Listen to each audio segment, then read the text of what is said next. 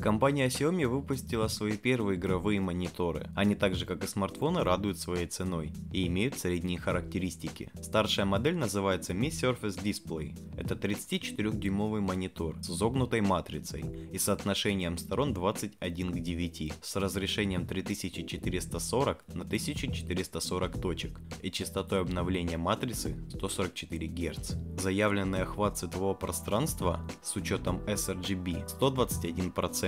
Также мы имеем технологию AMD FreeSon и специальный режим, который уменьшает количество испускаемого синего цвета. Поставщиком дисплеев является компания Samsung.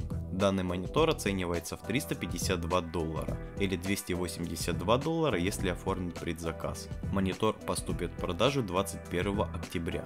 Дизайн монитора, как и у других изогнутых мониторов, к примеру у Samsung или LG, они по-прежнему выпускают подобный формат. Мне хочется увидеть классический, не изогнутый. Судя по отзывам, изогнутые мониторы на любителя. Покупать данный монитор в качестве эксперимента не каждый может себе позволить. Но это не минус, это другой класс мониторов, это нужно понимать. Вторая модель монитора более компактная, всего 23 дюйма, с разрешением Full HD и углами обзора 178 градусов. Она называется Xiaomi Mi Display 23 дюйма. Физические кнопки расположены в правом нижнем углу монитора. Также мы получаем экстра тонкие рамки вокруг дисплея. Я таких тонких рамок не видел у других конкурентов. Дизайн очень похож на мониторы Dell, LG или AOC, например.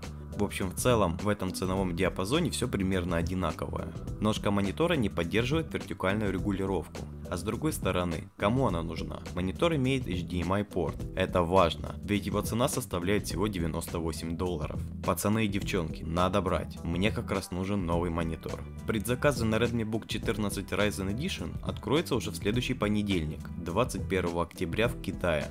Но сегодня мы уже знаем характеристики и варианты комплектующих Redmi Book 14 Ryzen Edition, которые будут работать на процессорах от AMD. Предыдущий Redmi Book 14 в базовой конфигурации с процессором Intel Core i5, 8 гигабайтами оперативной памяти, SSD накопителем 256 гигабайт сейчас продается за 560 долларов. Младшая конфигурация Redmi Book 14 на процессоре от AMD Ryzen 5 3500U и теми же объемами памяти оценена в 424 доллара. Молодцы! Кроме данной конфигурации будет доступно еще три на выбор. Первая из них на AMD Ryzen 5 3500U. 8 гигабайт оперативы 512 SSD будет стоить 465 долларов.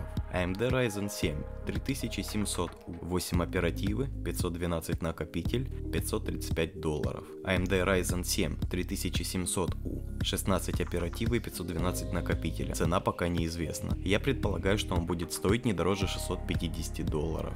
В данных ноутбуках используются разогнанные версии процессоров от AMD. Новый ноутбук также отличается от прошлогодней версии тем, что он будет поддерживать быструю зарядку. Он получит аккумулятор емкостью 45 Вт-часов и будет заряжаться наполовину за 35 минут. Он получит качественную аудиосистему Dolby DTS и технологии быстрого обмена данными по типу аналога от Huawei.